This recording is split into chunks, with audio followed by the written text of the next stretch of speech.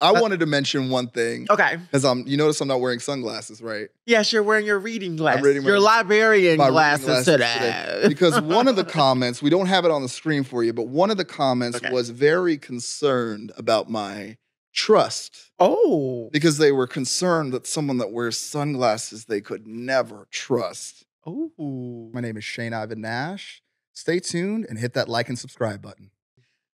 I'm here for The level of reach that y'all are in these comments. Listen, if you want to call me out for something, call me out for being fat. you know what I mean? If you want to call me out for something, Wait a minute. Call me out. you know, call me out for maybe my hair don't look right. Maybe I got a little stain on my glasses. Something. But that, that's what y'all got.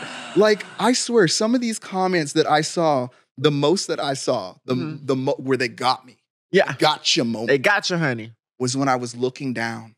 Uh, are you kidding? Looking down. Well, first, the fuck of all, let's be fucking for real. and I'm gonna be a hundred percent real with you.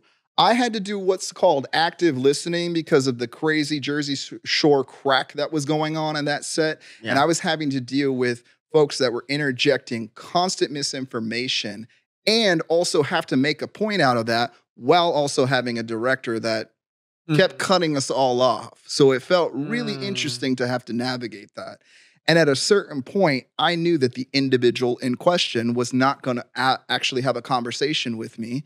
So Yeah. yeah. I looked down in sorrow for all of us. I, I felt pain that there was trans people on a stage Yeah. having a chance to have a conversation and an opportunity, and y'all tried to make that a read.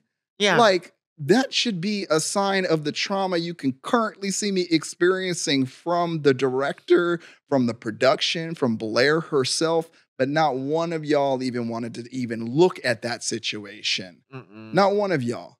And it's so disturbing to me because, again, a lot of the comments that came for, they had softballs for me. They were coming for you Yeah. the most. And I gotta tell you, I was almost hoping for more comments for me because yeah.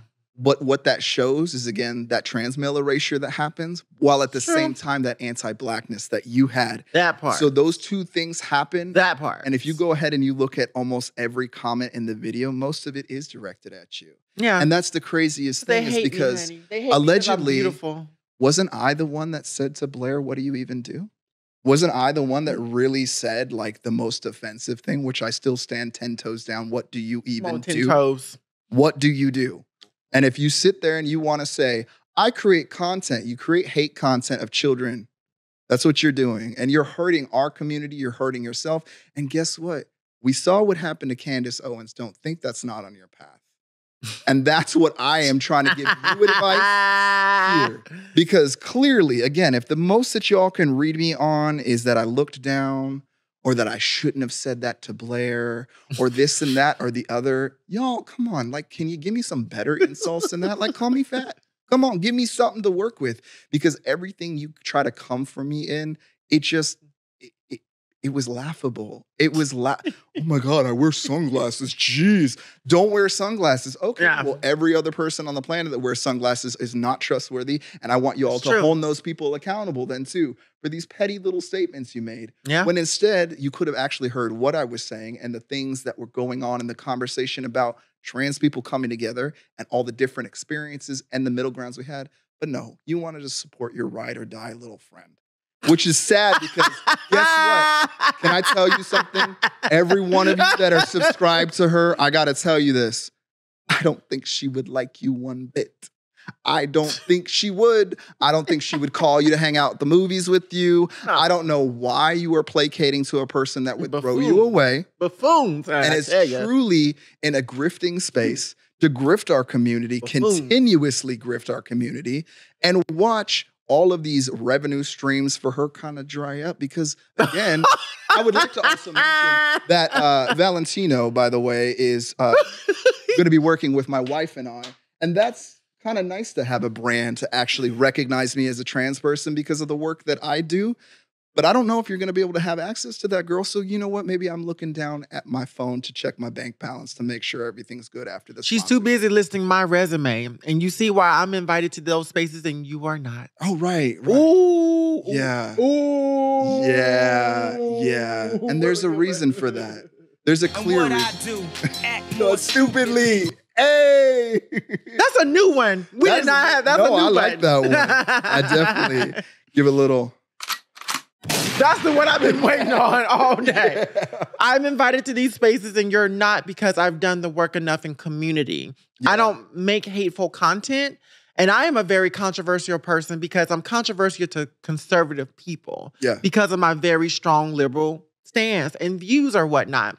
And when I see all these people talking about me, it makes me feel so divine Right.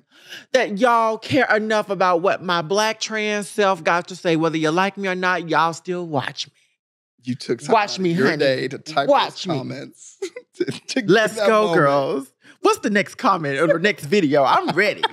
I'm ready for the next one, honey. Solomon, uh, can we get that? Ooh, what do we got here now? Blossom using her transness and skin color to make her voice heard over others and use it as an excuse to interrupt others while ridiculing others for interrupting her is absolutely disgusting. Okay. First of all, it's a run-on sentence. very run-on. But I was is- like, where's the This is, coming, period? this is coming from like I got dyslexia, and I always try to shout out to people that don't get the grammar the best because I'm not a grammar, you know, perfectionist. yeah. But girl, we need a period. Yeah, and they need We to capitalize. They need to capitalize my name. Like they don't never do nothing. So, what excuses are you making for others, ridiculing others, interrupting others? But meanwhile, you're not going to hold accountable Miss uh, White for doing any of the exact same behaviors. Hmm. Interesting. Why do you think that is? Do you think that could possibly be what is that called?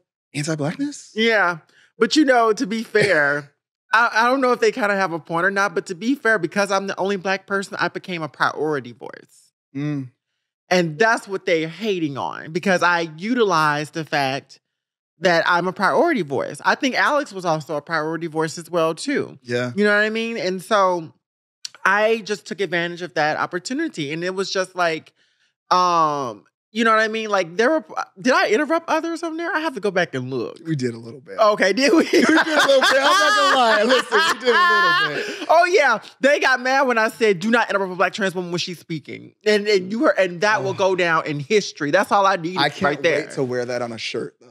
Yes. Like, yes, and even if other people make it and try to throw it on a shirt or whatever, it's not going to be the same. no. It's not gonna be the same. Y'all ridiculing me, that's fine. I ain't got no feelings, no way, child. I'm a double air sign. I'm a Libra sun, Gemini moon. What you you think that we could be in activism and have the kind of feel we got to work with logic. yeah, You but you know? know, it's just it's like I'm trying to figure out when did I ridicule people because we weren't rude like that. If anything, I might have got that, but again, that comment never came from me. yeah, like we didn't ridicule anyone. We don't. It's a I did debate. say, "What did you do?" Though I did, well, and that would be. but all the the trans, ridicule. the other trans influencers who we shall not name, got really upset with you about that. and you know what?